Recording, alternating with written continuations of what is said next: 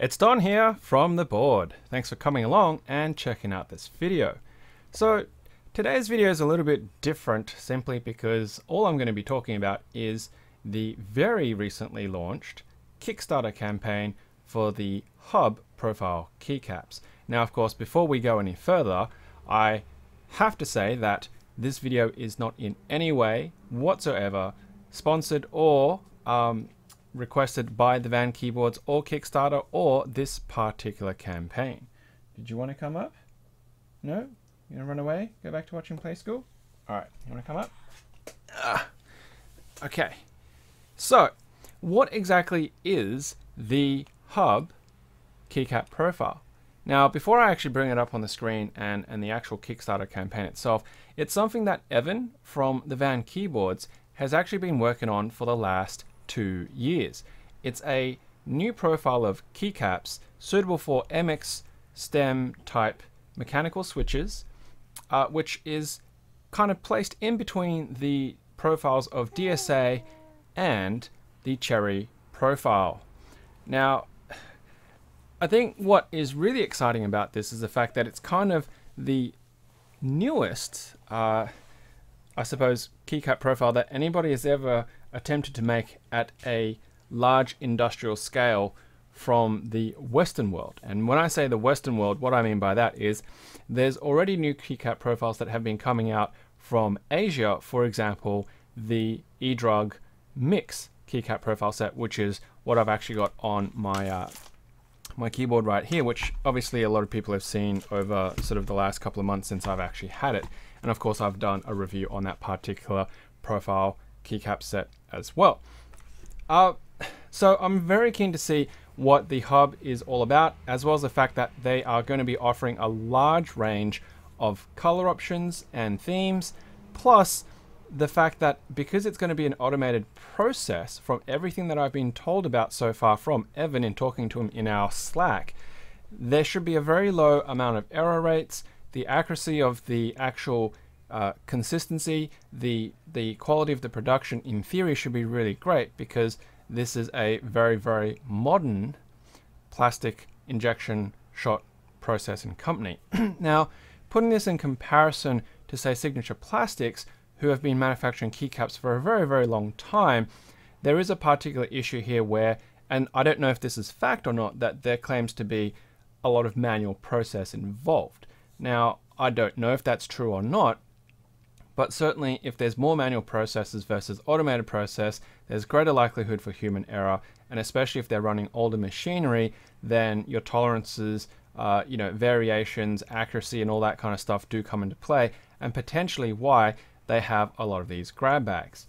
Now, going to a new manufacturer who are using potentially newer, better, state-of-the-art equipment with automated processes, you might expect and hope, of course, to get a better product so long as they do everything right. Now, I guess there's not terribly much more to say since we don't have them in hand, we can't really look at them, feel them, and see them and talk about them. So let's have a quick look at this Kickstarter campaign to see what it's all about.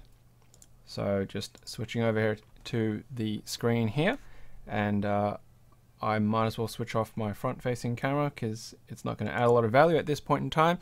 So here is the Kickstarter page. Now, the first and foremost thing that's really important is it has a huge goal. Now, of course, I've got my Kickstarter account logged in and it's in AUD, Australian dollars, which is $650,000. It's massive. I think the American conversion is going to be roughly around $500,000 or thereabouts. You can see we've currently got 153 backers and there's still 59 days to go. So it is a 60 day campaign and it will end on June the 1st, Australian Eastern Standard Time. There's a lot of details, but uh, you know, if you're in the keyboard community, you've probably already seen these posts either on Reddit or on GeekHack or around and everywhere else. We've had Evan and 2ZQQ as well come onto our podcast and talked about the profile and how exciting that they've been, you know, working on this particular project. As I said before, you know, it's two years worth of work. Now, there's some details here. So double shot ABS, thick walled, and by thick walled, I've spoken to Evan about this post this Kickstarter launching a couple of hours ago that they are the 1.5 millimeter wall thickness to match the Cherry style GMK type of keycaps and the particular profile. So there's you know more information there. There's a gallery with some renders and what is really cool is the fact that it comes as a 148 keycap set. So the coverage here provides you with a full 10 keyless plus additionals for a variety of different layouts, including your ISOs. One thing to note, of course, is that you are not going to get legended mods with words, but rather they're symbolic. So if this is something that doesn't really tickle your fancy, it's just something to be aware of, and you're not really going to be able to easily match the profile with, say, keycaps from other sets. Now, here we go in regards to the colors. All sets include all the colors. So we've got 80s Kid, we've got Royal, Heart, matching Ski Data, a classic, another classic which is Miami. We've got Joker, which is kind of the whole uh, Troubled Minds kind of thing. You got Hive, which is it looks like a bit of a, a carbon kind of spin-off. Nuke, which is I suppose taking inspiration from nuclear data. Paperwork, which is pretty clean. Um, Dreamweaver, Midnight, which is a bit of that uh, chronicler kind of look and aesthetic. The I think what do they call it? Um, oh, I've I've had a total mind blank right now. But anyway, let's move on. Laguna. And here we have an example of the actual profile. So from the R1, which is the furthest away from you, the F key row, as well as the, the number row, and then all the way down to the spacebar row. So you can see how they've shown and distinguished it, as well as an example of their 3D printed prototype and what it looks like. What makes this really interesting is the fact that the spacebar row actually has a natural tilt to it. So if you're the type of person, for example, like me, where you actually flip your spacebar around to get that angled towards your thumb, then this is automatically designed to incorporate that kind of feel within it.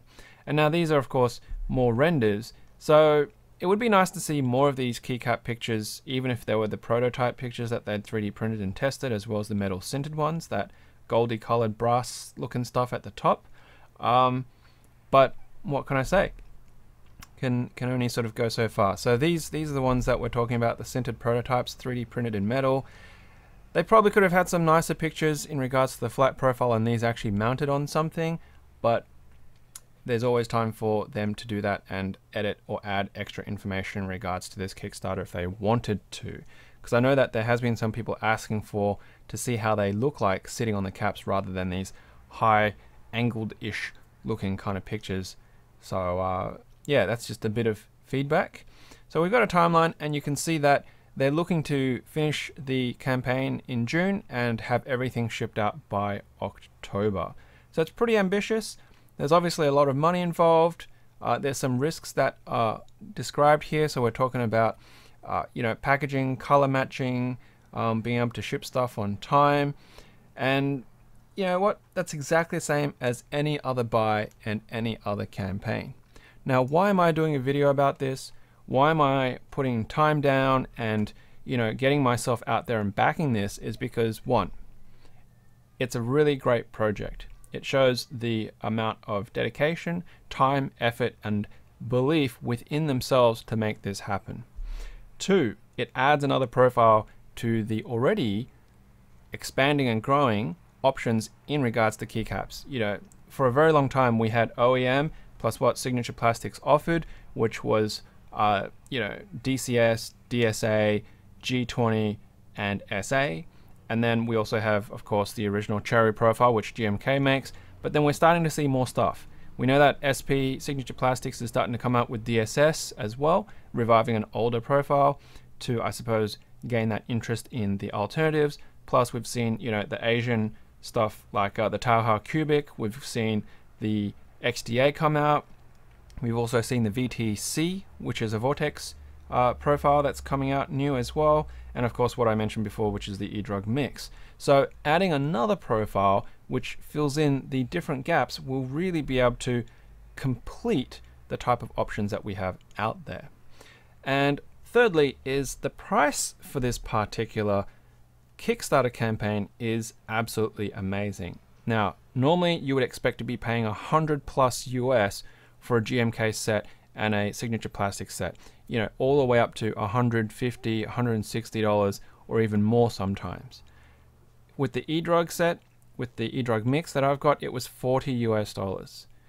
What we're seeing here, right, is that with the pledge options, it's $50 as part of a Kickstarter. And, and that's really quite affordable, all things considering, since these are supposed to be made in the US rather than cheaper manufacturing processes in Asia. Now, of course, shipping is involved. So, you know, if I put that on, you can see shipping to Australia is going to be another $13. But this is Australian, right? This is this is going to be $82 Australian for a keycap set, which for 148 keycaps is actually really good. But what makes this really awesome is the fact that if you want to pick more than one because you like the different colors, or if you're going to be in a situation where potentially you know you want something to give away, something different, or you just want to support it, the more sets you buy, the cheaper it gets. When you get down to here and you're at the $300 mark, right? So 391 Australian, roughly, you're going to get all 12 keycap sets. That comes up to 449 Australian or $38 a set Australian, which is cheaper than the eDrug set. Of course, it doesn't really work for you if you don't want all the different colors, but uh, for me, it's something that does interest me because I want to be able to see the colors, the color productions, how well they match, uh, as well as it means that I potentially have options for you know, giving away or doing competitions and stuff like that for the colors that I don't like and don't keep for myself. But even if you think about it for non-Australians, if you're shipping it to another country, say, for example, the US, let's find the uh, United States, it's $35, so it's $10 cheaper for 12 sets.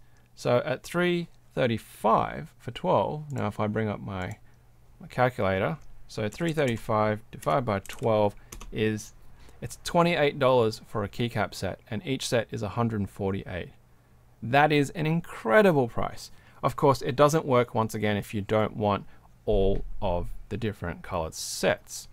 But putting that aside, I have actually asked Evan about this and he's currently in discussions with the people involved as part of this campaign to see if it's possible to run it group by style rather than having one of each set, but just saying 12 of a particular pick of colors. Now that is not confirmed, and I'll repeat, that is not confirmed at this point in time, but if it does become an option, then potentially you could buy 12 of one set if you really wanted to. And at $28, man, that really opens up the floodgates. So, where are we at with this? We've got 59 days to go. There is a bucket load of money that is still needed to be raised for this, and I will be backing this project in some way or another. Now, I'm doing this video to increase the visibility of this. I've already posted on Facebook. Um, you know, I've shared it on um, my Facebook page. I've shared it on my Facebook page for the board podcast as well. That's already been posted on various Slacks and Discords and so on and so forth. So anybody who's actually actively in the keyboard community no doubt will already see and have exposure to this Kickstarter campaign. But what we need to do for those people who are supporting this campaign and want to make this happen is get it out to the wider community. And that means people who potentially have mechanical keyboards, people potentially who use mechanical keyboards, who previously might have said, you know what, I would love to get some different keycaps, but I don't want to be paying $100 plus. I don't want to be paying $150 plus for these sets. Now, if they back this, they don't have to. Yes, it is an unproven profile, but because it takes its influences from DSA and Cherry, which are some of the very popular key, key sets out there, sorry, key profiles out there, then I don't feel this will feel horrible. Doesn't look horrible, and just by you know first impressions, I think it should be a great profile to work with. So, what I'm doing here is I'm putting this video, and I would love it if people would like the video and they could share this video because what that means is it'll improve the visibility, it'll improve the outreach for this across YouTube. It would be amazing if we could go viral and just get into the hands of people who haven't seen mechanical keyboards and are thinking, what on earth are mechanical keyboards? People who have mechanical keyboards but had never realized or known that you can get different keycaps for them, and people who have mechanical keyboards who are looking for keycaps to see that there are other options coming out there if they had tried all the other different profiles out there unsuccessfully to their satisfaction and endgame.